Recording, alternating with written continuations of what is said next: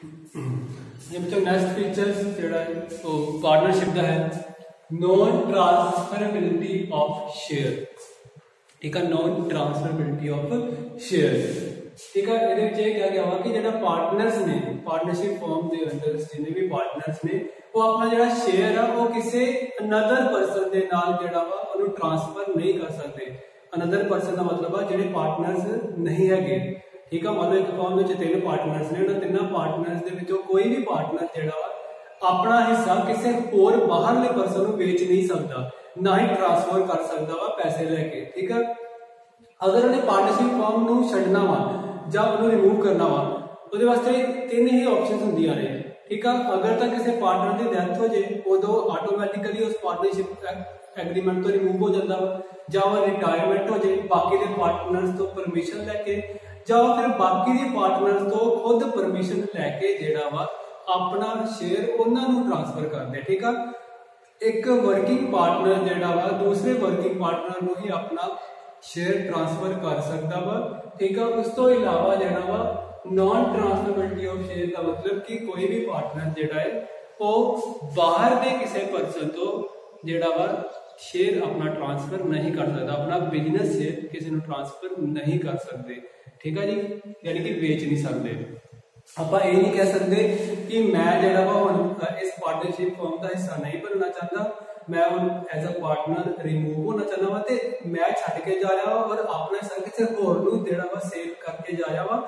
ਹੁਣ ਕੱਲ ਤੋਂ ਉਹ ਤੁਹਾਡਾ ਪਾਰਟਨਰ ਹੋਵੇਗਾ। ਕੋਈ ਵੀ ਪਾਰਟਨਰ ਇਦਾਂ ਨਹੀਂ ਕਹਿ ਸਕਦਾ।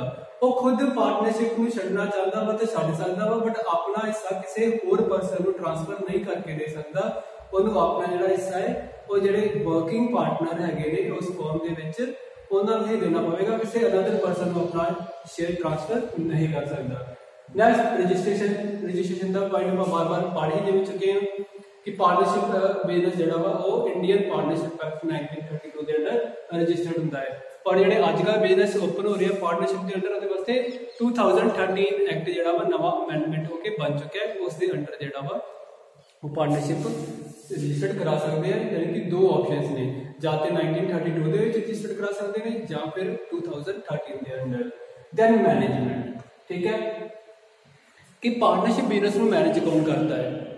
ਜਿਵੇਂ ਸੋਲ ਪ੍ਰੋਪਰਾਈਟਰਸ਼ਿਪ ਵਿੱਚ ਸੋਲ ਪ੍ਰੋਪਰਾਈਟਰ ਕਰਦਾ ਹੈ, ਔਰ ਜੁਆਇੰਟ ਹਿੰਦੂ ਫੈਮਿਲੀ ਬਿਜ਼ਨਸ ਦੇ ਵਿੱਚ ਕਰਤਾ ਕਰਦਾ ਸੀ।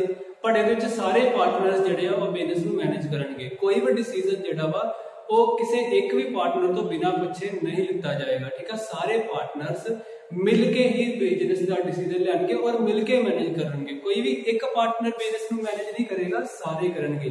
ਹਾਂ, ਇਹਦੇ ਵਿੱਚ ਜਿਹੜੇ ਪਾਰਟਨਰਸ ਨੇ, ਉਹ ਅੱਗੇ ਜਾ ਕੇ ਦੋ ਹਿੱਸਿਆਂ ਦੇ ਵਿੱਚ ਡਿਵਾਈਡ ਹੋ ਜਾਂਦੇ ਨੇ। ਵਰਕਿੰਗ ਪਾਰਟਨਰ ਤੇ ਸਲੀਪਿੰਗ ਪਾਰਟਨਰ ਠੀਕ ਆ? ਵਰਕਿੰਗ ਪਾਰਟਨਰ ਉਹ ਪਾਰਟਨਰ ਆ ਜਿਹੜਾ ਸਾਰੇ ਬਿਜ਼ਨਸ ਅਫੇਅਰਸ ਨੂੰ ਦੇਖਦਾ ਪਿਆ ਵਾ, ਸਾਰੇ ਬਿਜ਼ਨਸ ਨੂੰ ਜਿਹੜਾ ਵਾ ਮੈਨੇਜ ਕਰਦਾ ਪਿਆ ਵਾ, ਯਾਨੀ ਕਿ ਸਾਰੀਆਂ ਐਕਟੀਵਿਟੀਜ਼ ਖੁਦ ਪਰਫਾਰਮ ਕਰਦਾ ਪਿਆ ਵਾ। ਤੇ ਸਲੀਪਿੰਗ ਪਾਰਟਨਰ ਸਿਰਫ ਉਹੀ ਪਾਰਟਨਰ ਆ ਜਿਹੜੇ ਸਿਰਫ ਬਿਜ਼ਨਸ ਦੇ ਵਿੱਚ ਪੈਸਾ ਲਗਾਇਆ ਜਿਨ੍ਹਾਂ ਨੇ। ਸਿਰਫ ਪੈਸਾ ਲਗਾਇਆ ਵਾ, ਯਾਨੀ ਕੰਮ ਨਹੀਂ ਕੋਈ ਕਰ ਰਿਹਾ ਠੀਕ ਆ? ਹੁਣ ਇੱਥੇ ਜੇ ਮੈਂ ਮੈਨੇਜਮੈਂਟ ਦੀ ਗੱਲ ਕਰਾਂ ਤੇ ਮੈਨੇਜ ਦੋਨੋਂ ਪਰਸਨ ਕਰਦੇ ਨੇ। ਯਾਨੀ ਕਿ ਜਿਹੜੇ ਸਲੀਪਿੰਗ ਪਾਰਟਨਰ ਨੇ, ਜਿਹੜੇ ਕੰਮ ਤੇ ਕੋਈ ਨਹੀਂ ਕਰ ਰਹੇ, ਸਿਰਫ ਪੈਸਾ ਹੀ ਲਗਾਇਆ ਵਾ ਬਟ ਉਹ ਵੀ ਜਿਹੜਾ ਵਾ ਪਾਰਟਨਰਸ਼ਿਪ ਫਰਮ ਦੇ ਫਾਈਨੈਂਸ਼ੀਅਲ ਸਟੇਟਮੈਂਟਸ ਉਹਦੇ ਅਕਾਊਂਟਸ ਚੈੱਕ ਕਰਦੇ ਨੇ ਕਿੰਨਾ ਪ੍ਰੋਫਿਟ ਹੋ ਰਿਹਾ ਵਾ, ਕਿੱਥੇ ਬਿਜ਼ਨਸ ਹੋ ਰਿਹਾ, ਕਿੱਥੇ ਨਹੀਂ ਹੋ ਰਿਹਾ। ਉਹ ਸਾਰਾ ਨੌਲੇਜ ਰੱਖਦੇ ਨੇ। ਬਸ ਉਹ ਕੋਈ ਵਰਕ ਨਹੀਂ ਪਰਫਾਰਮ ਕਰ ਰਹੇ। ਵਰਕਿੰਗ ਪਾਰਟਨਰ ਜਿਹੜਾ ਵਾ, ਬਹੁਤ ਪਰਫਾਰਮ ਕਰਦਾ ਪਿਆ ਵਾ। ਔਰ ਇਹਦੇ ਵਿੱਚ ਕੀ ਕਿ ਵਰਕਿੰਗ ਪਾਰਟਨਰ ਦਾ ਪ੍ਰੋਫਿਟ ਜਿਹੜਾ ਸ਼ੇਅਰਿੰਗ ਰੇਸ਼ੀਓ ਜ਼ਿਆਦਾ ਹੁੰਦਾ ਵਾ as compare to sleeping partners ਠੀਕ ਹੈ? ਯਾਨੀ ਕਿ ਵਰਕਿੰਗ ਪਾਰਟਨਰਸ ਨੂੰ ਪ੍ਰੋਫਿਟ ਤੇ ਮਿਲੇਗਾ ਹੀ ਮਿਲੇਗਾ। ਉਹਨੂੰ ਇੱਕ ਸੈਲਰੀ ਵੀ ਮਿਲਦੀ ਹੈ ਅਲੱਗ ਤੌਰ ਤੇ, ਜਿਹਨੂੰ ਰੈਮੂਨਰੇਸ਼ਨ ਕਿਹਾ ਜਾਂਦਾ ਵਾ, ਠੀਕ ਹੈ ਕਮਰਸ ਦੇ ਵਿੱਚ। ਮਤਲਬ ਕਿ ਪ੍ਰੋਫਿਟ ਤੇ ਪ੍ਰੋਫਿਟ ਸ਼ੇਅਰਿੰਗ ਰੇਸ਼ੋ ਦੇ ਅਕੋਰਡਿੰਗ ਹੀ ਡਿਸਟ੍ਰੀਬਿਊਟ ਹੋਏਗਾ ਬਟ ਵਰਕਿੰਗ ਪਾਰਟਨਰ ਨੂੰ ਇੱਕ ਅਲੱਗ ਤੌਰ ਤੇ ਜਿਹੜਾ ਰੈਮੂਨਰੇਸ਼ਨ ਮਿਲੇਗੀ, ਜਿਹਨੂੰ ਸੈਲਰੀ ਵੀ ਕਿਹਾ ਜਾ ਸਕਦਾ ਵਾ ਜਾਂ ਕਮਿਸ਼ਨ ਵੀ ਕਿਹਾ ਜਾ ਸਕਦਾ ਕਿਉਂਕਿ ਕੰਮ ਸਾਰਾ ਉਹ ਕਰਦਾ ਪਿਆ ਵਾ, ਪਰ ਜਿਹੜੇ ਮੈਨੇਜਰ ਉਹ ਸਾਰਾ ਮਿਲ ਕੇ ਹੀ ਕਰਨਗੇ। ਉਸ ਤੋਂ ਬਾਅਦ ਆਉਂਦਾ ਵਾ ਟਾਈਮ ਪੀਰੀਅਡ ਯਾਨੀ ਕਿ ਪਾਰਟਨਰਸ਼ਿਪ ਕਿੰਨੇ ਟਾਈਮ ਤੱਕ ਰਹਿੰਦੀ ਹੈ? ਸਭ ਤੋਂ ਪਹਿਲਾਂ ਤੇ ਇਹਦੇ ਵਿੱਚ ਪੁਆਇੰਟ ਇਹ ਹੁੰਦਾ ਵਾ ਕਿ ਅਗਰ ਪਾਰਟਨਰਸ਼ਿਪ ਡੀਡ ਜਿਹੜਾ ਕਿ ਐਗਰੀਮੈਂਟ ਉਹਨਾਂ ਪਾਰਟਨਰਸ ਨੇ ਆਪਸ ਵਿੱਚ ਸਾਈਨ ਕੀਤਾ ਸੀ ਬਿਜ਼ਨਸ ਸ਼ੁਰੂ ਹੋਣ ਤੋਂ ਪਹਿਲਾਂ ਅਗਰ ਤੇ ਉਹਦੇ ਵਿੱਚ ਕੋਈ ਪ੍ਰੋਪਰ ਟਾਈਮ ਮੈਂਸ਼ਨ ਕੀਤਾ ਗਿਆ ਹੈ ਕਿ ਪਾਰਟਨਰਸ਼ਿਪ 5 ਸਾਲ ਵਾਸਤੇ ਕਰਨੀ ਹੈ ਜਾਂ 10 ਸਾਲ ਵਾਸਤੇ ਕਰਨੀ ਹੈ ਜਾਂ 15 ਇਅਰ ਵਾਸਤੇ ਕਰਨੀ ਹੈ ਤਾਂ ਉਹਦਾ ਉਹਨਾਂ ਟਾਈਮ ਪੀਰੀਅਡ ਹੋਏਗਾ। ਬਟ ਅਗਰ ਪਾਰਟਨਰਸ਼ਿਪ ਡੇਟ ਦੇ ਵਿੱਚ ਕੋਈ ਟਾਈਮ ਪੀਰੀਅਡ ਦੀ ਮੈਂਸ਼ਨ ਨਹੀਂ ਕੀਤਾ ਗਿਆ, ਤਾਂ ਉਹਦੇ ਵਿੱਚ ਅਗਰ ਜਿੰਨੇ ਵੀ ਪਾਰਟਨਰਸ ਆ, ਉਹਨਾਂ ਵਿੱਚੋਂ ਕਿਸੇ ਵੀ ਪਾਰਟਨਰ ਦੀ ਜੇ ਡੈਥ ਹੋ ਜਾਂਦੀ ਹੈ ਮੰਨ ਲਓ ਕਿ ਜੇ ਪਾਰਟਨਰ ਹੀ ਦੋ ਨੇ, ਉਹਨਾਂ ਵਿੱਚੋਂ ਇੱਕ ਦੀ ਡੈਥ ਹੋ ਜਾਂਦੀ ਹੈ ਤਾਂ ਅਲਟੀਮੇਟਲੀ ਪਾਰਟਨਰਸ਼ਿਪ ਖਤਮ ਹੋ ਜਾਏਗੀ। ਕਿਉਂਕਿ ਪਾਰਟਨਰਸ਼ਿਪ ਦੇ ਵਿੱਚ ਤੁਹਾਨੂੰ ਕਿ ਜਿਵੇਂ ਪਤਾ ਹੀ ਆ ਕਿ ਦੋ ਜਾਂ ਦੋ ਤੋਂ ਵੱਧ ਪਰਸਨ ਚਾਹੀਦੇ ਆ। ਤੇ ਜੇ ਦੋ ਹੀ ਪਰਸਨ ਨੇ ਉਹਨਾਂ ਵਿੱਚ ਇੱਕ ਦੀ ਡੈਥ ਹੋ ਜਾਂਦੀ ਆ ਜਾਂ ਫਿਰ ਇੱਕ ਰਿਟਾਇਰ ਹੋ ਜਾਂਦਾ ਵਾ, ਤਾਂ ਪਾਰਟਨਰਸ਼ਿਪ ਦਾ ਮੀਨਿੰਗ ਹੀ ਜਿਹੜਾ ਵਾ, ਉਹ ਡਿਫਾਲਟ ਵਿੱਚ ਆ ਜਾਏਗਾ। ਯਾਨੀ ਕਿ ਜਦੋਂ ਮੈਂਬਰ ਹੀ ਇੱਕ ਰਹਿ ਗਿਆ, ਤਾਂ ਪਾਰਟਨਰਸ਼ਿਪ ਫਰਮ ਦਾ ਮੀਨਿੰਗ ਹੀ ਨਹੀਂ ਕਲੀਅਰ ਹੋਏਗਾ, ਉਹ ਪਾਰਟਨਰਸ਼ਿਪ ਫਰਮ ਪਾਰਟਨਰਸ਼ਿਪ ਫਰਮ ਨਹੀਂ ਰਹੇਗੀ।